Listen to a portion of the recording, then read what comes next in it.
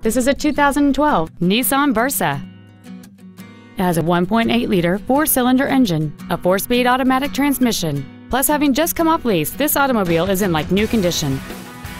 All of the following features are included. A low tire pressure indicator, traction control and stability control systems, full power accessories, a CD player, a passenger side vanity mirror, rear curtain airbags, child safety seat anchors, rear seat child-proof door locks, air conditioning, and this vehicle has fewer than 33,000 miles on the odometer.